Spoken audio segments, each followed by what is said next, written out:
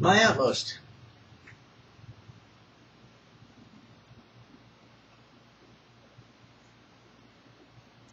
The eternal goal. By myself have I sworn, saith the Lord, for because thou hast done this thing, shalt in blessing, I shall bless thee. Genesis 22, 16 and 17. Abraham has reached the place where he is in touch with the very nature of God. My goal is God himself. At any cost, dear Lord, by any road.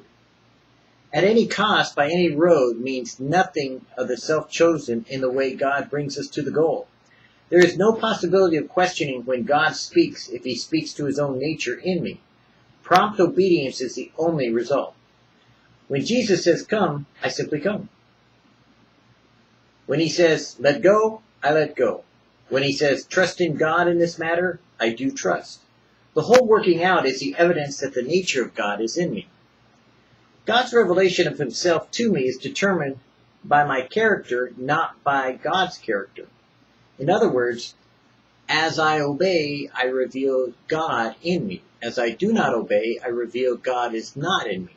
And as I do so, then I reveal whether God be with me or whether God be against me in causing me to come back to the place where I would just simply obey. To obey is better than sacrifice. By the discipline of obedience, I get to the place where Abraham was, and I see who God is. I never have a real God until I have come face to face with Him in Jesus Christ.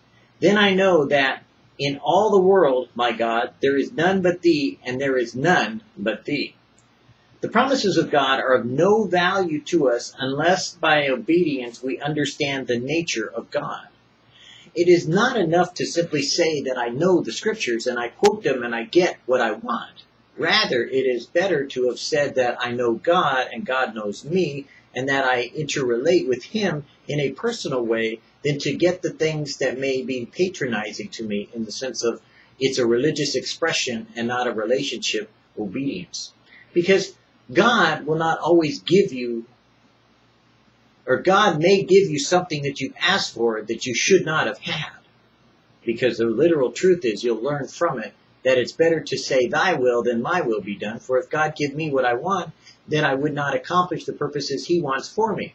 But if I say thy will be done, God only give me those things you want for me, then I limit that process of asking for the things that I know I shouldn't have and God will not give to me those things that I know are wrong for me. The promises of God are of no value to us until by obedience we understand the very nature of God. We read some things in the Bible 365 times and they mean nothing to us, and then all of a sudden we see what God means. Because in some particular way we have obeyed God and instantly His nature is opened up. How He does things is revealed to us. All the promises of God in Him are yea, and in Him amen.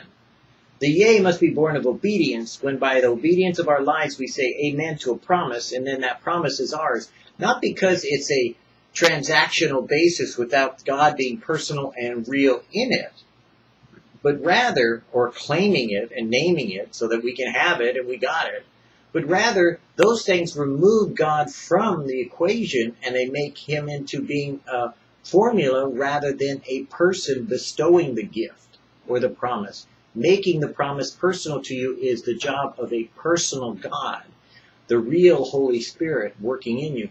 Because if you go about doing only those things that you claim the promise rather than the promiser, then you wind up finding yourself one day standing before Jesus saying, Have we not done all these things in your name? Have we not claimed the promises? Have we not cast out demons? Have we not raised the dead? And Jesus might, might say to you, Depart from me, I never knew you. For the sake of Abraham, who was willing to obey as God said, do as God said, accept what God said and did it when God said it, the same thing is true with you and I. It's not enough to simply go, oh, well, I've got all the promises of God and I can claim them, or He's got to reward me because I tithed.